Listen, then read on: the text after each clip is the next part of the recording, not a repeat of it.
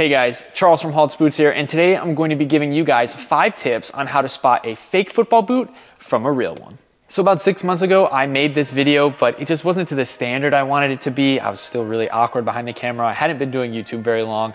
So I figured now it's a good time to go back through those five steps and just kind of give you guys a better explanation and hopefully more in depth about how exactly to go about spotting fake football boots because the fakes are getting pretty good these days and it's getting kind of hard to tell. Tip number one, flimsy sole plates. While football boots are meant to have a little bit of give, they shouldn't be able to fold in half. So as you can see with the fake pair here, you literally can fold them exactly in half, and that's not supposed to happen at all. If you take this real boot here, it does bend a little bit, but nothing crazy.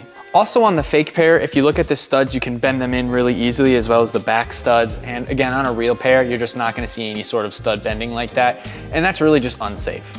Tip number two, size tag. Size tags are often the biggest giveaway on whether or not a football boot is real or fake. The fake pair has the size tag on the instep of the boot, which is completely the wrong spot. And the real pair has the size tag on where the outside of your ankle would rest, but on the inside of the boot. And the positioning of the size tag isn't even the biggest giveaway. Every football boot has a size tag and on that size tag is an ART code.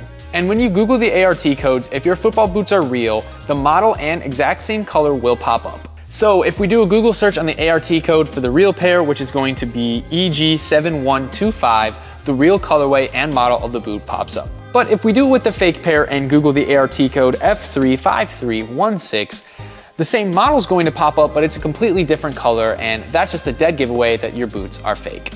Tip number three, inspect the insole. Now, it's not always easy to tell whether or not a football boot is real based on the insoles. And if you didn't know which boot you pulled these insoles out of, you wouldn't really be able to tell which was for the real pair and which was for the fake pair. And on top of that, even the back molding is almost an identical match to both pairs, although there is one big giveaway, and that's gonna be the sizing. The real insole to the real boot is going to have the size of the boot, and that also is the size of the insole, whereas the fake one will not have any of that information. And while this isn't always the case, with most Adidas boots, you'll notice that they have the actual sizing of the boot that the insole belongs to, so this is kind of another giveaway that the boots are fake. Tip number four, stiff upper. Sometimes the uppers make it very easy to tell whether or not the boot is fake or real. And oftentimes the fake pairs are made with a cheap, stiff material or plastic and just leads to a lot of discomfort. So as you can see with the fake pair, this upper is very, very stiff.